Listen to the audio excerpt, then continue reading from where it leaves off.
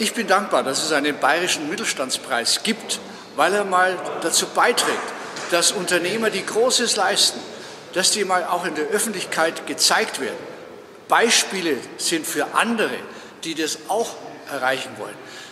Eine Motivation für junge Leute, ein Unternehmer zu werden, nicht Beamter, sondern was anzupacken.